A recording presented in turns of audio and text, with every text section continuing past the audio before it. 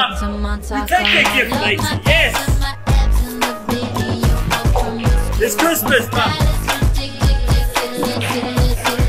Take your gifts.